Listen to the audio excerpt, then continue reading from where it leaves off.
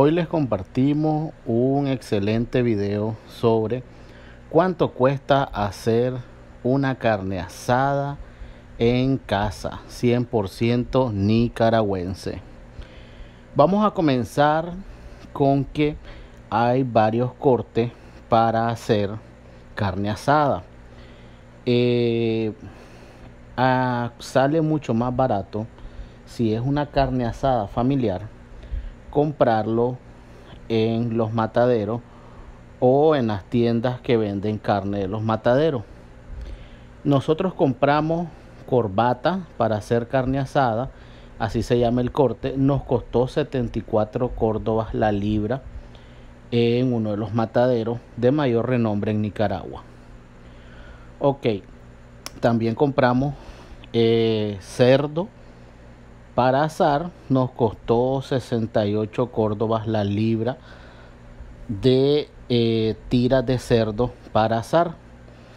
Eh, maduro, plátano maduro, nos costó 6 córdobas cada plátano maduro.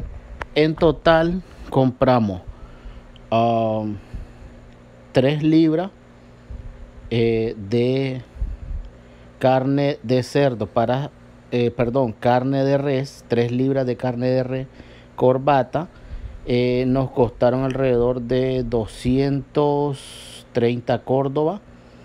Y el cerdo, igual, compramos 3 libras, nos costaron casi 200 Córdoba. Y los plátanos, eh, al final, así, a buen cubero, llevamos casi 600 Córdoba en lo que es 3 libras de carne para asar, 3 libras de cerdo y lo que son los plátanos maduros. Eh, se puede decir de que eh, los 20 dólares que ocupamos eh, compramos también para hacer la ensalada. repollo, tomate, cebolla, eh, un poquito de chiltoma para darle sabor y pepino.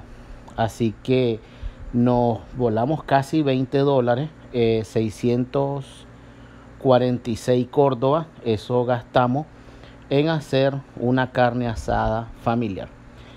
Eh, tenemos un amigo que nos está preparando un video de cómo comer carne asada de manera más ligera. Eh, le pusimos las tajadas para decorar el plátano.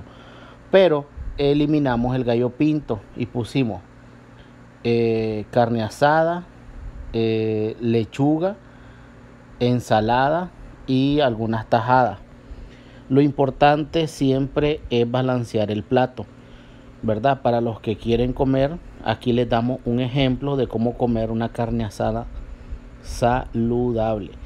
Pero la carne asada tradicional no puede faltar el maduro frito o el maduro asado, el gallo pinto, las tajadas verdes, la carne asada y la ensaladita. Así que aquí les estamos dejando eh, cómo nos quedaron y cómo la vamos a comer. Ahí está el cerdo. Así que hasta un próximo video.